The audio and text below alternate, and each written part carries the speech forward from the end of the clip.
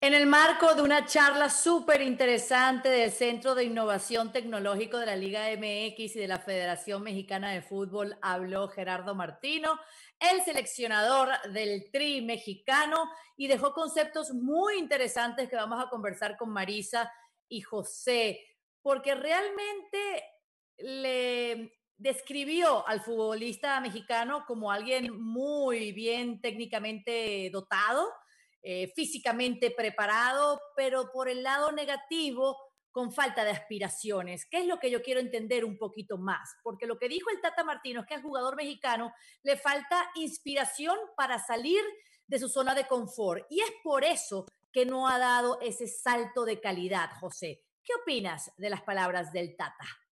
Gracias al Tata Martino por darme la razón, Caro Guillén. Esto lo hemos venido diciendo desde hace años, pero claro, ah, entiendo, entiendo, yo no tengo, yo no tengo la trayectoria del Tata Martino, yo no soy tan importante como el Tata Martino, pero me da gusto que un tipo de fútbol, un tipo que ha mamado fútbol desde que nació, diga lo que dijo y tiene razón en todo. Primero elogiando las cualidades del futbolista mexicano, coincido, técnicamente muy bien dotado, obediente para llevar a cabo una estrategia y una táctica implementada por el entrenador.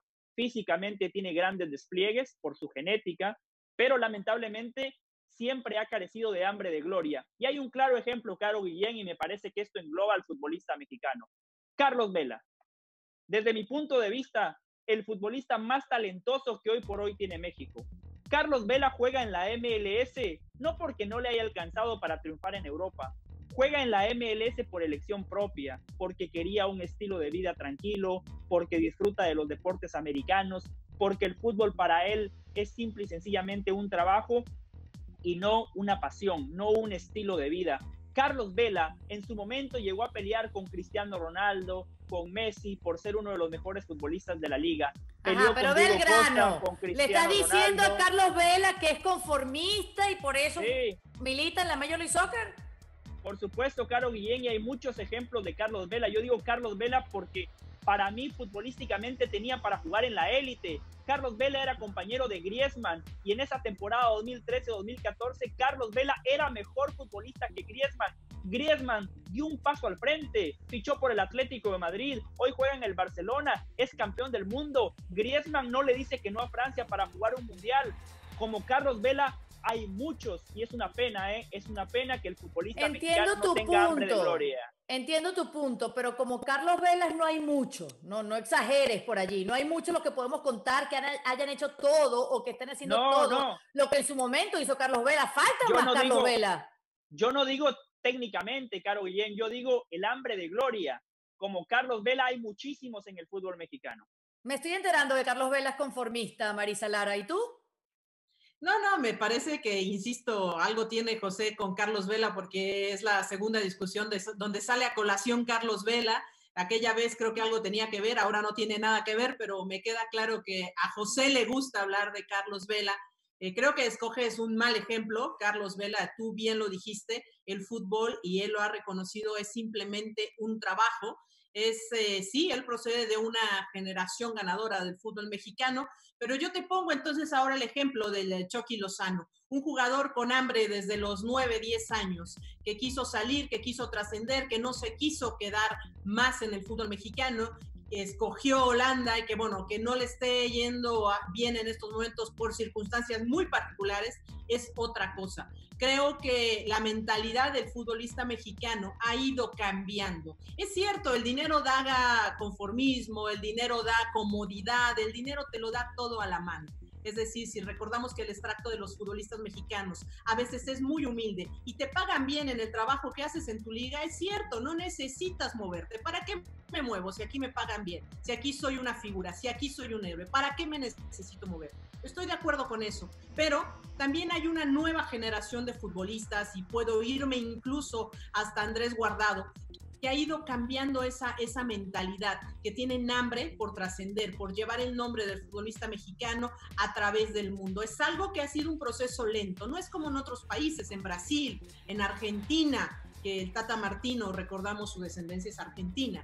¿Qué hacen ellos? Producen futbolistas para qué? Para que vayan a ganar plata, vayan a ganar dinero a otras partes del mundo. La desventaja es que en México hay dinero para pagar a los futbolistas. Entonces, tan rápida. El Tata, entiendo, pero el Tata dice que el jugador mexicano está muy cómodo. Entonces, lo incomodamos pagándole menos, dándole una vida menos cómoda. Eh, explíqueme un poquito eso, porque no tiene sentido. Todo el mundo, ¿verdad? Quiere trabajar y, y consigue ciertos oficios para mejorar su estado, su condición de vida, ¿verdad?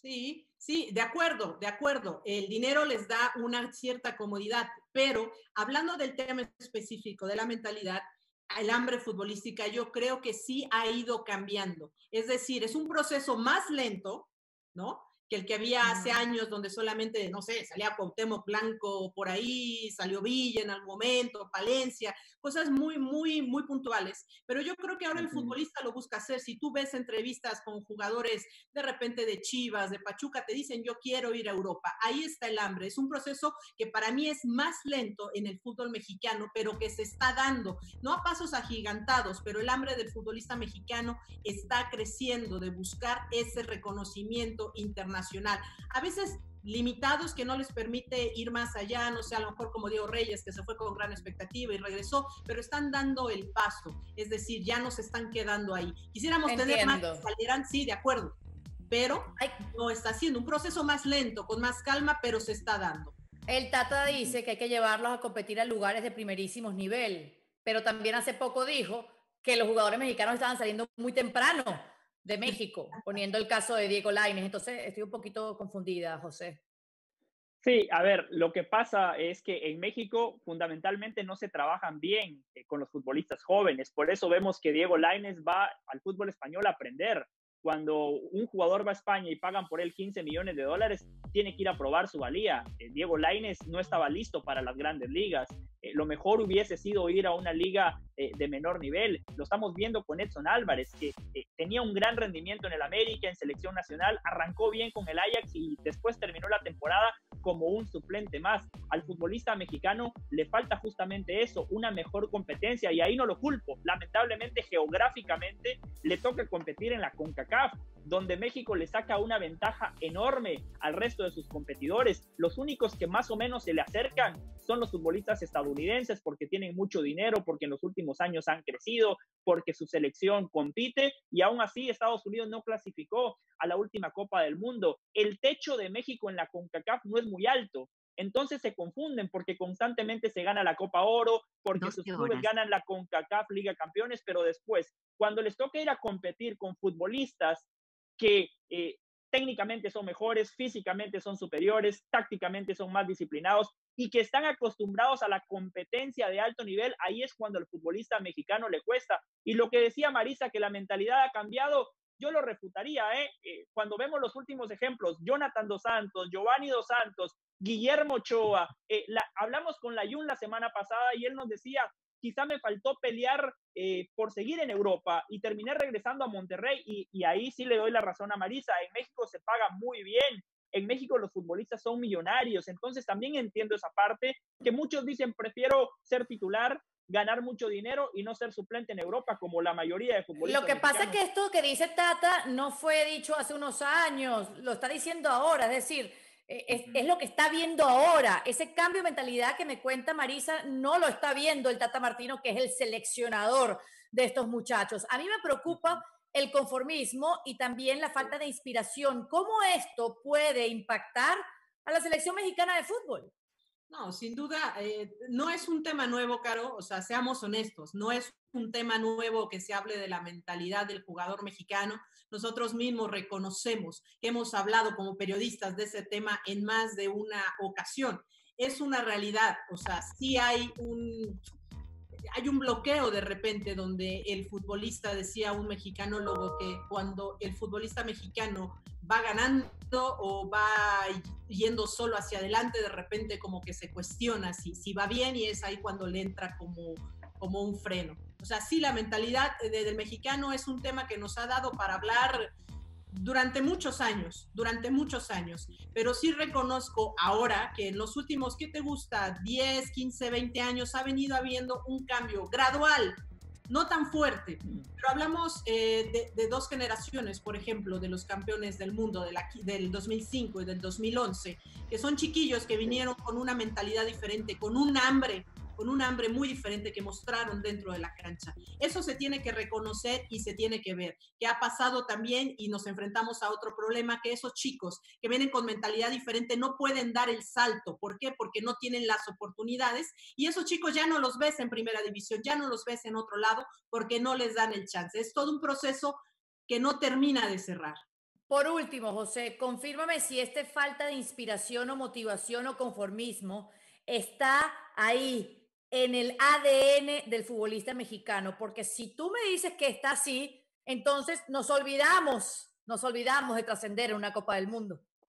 Está en el ADN, está en la cultura del fútbol mexicano. El Tata Martino tiene toda la razón. Y si Marisa Lara y muchos otros colegas no cambian el discurso, el futbolista mexicano tampoco va a cambiar. Hay que exigirle al máximo. ¿Ha quedado claro? Eh, a veces se va largo el señor José del Valle, hoy se fue corto. Esto es una novedad, pero lo que es cierto es que el Tata Martino. Ya, el Tata Martino dijo todo lo que yo quería decir, Caro Guillén. Esperemos que cambie y que se motive un poquito más el jugador mexicano porque esto va a ser de beneficio para todos. Muchísimas gracias, señores.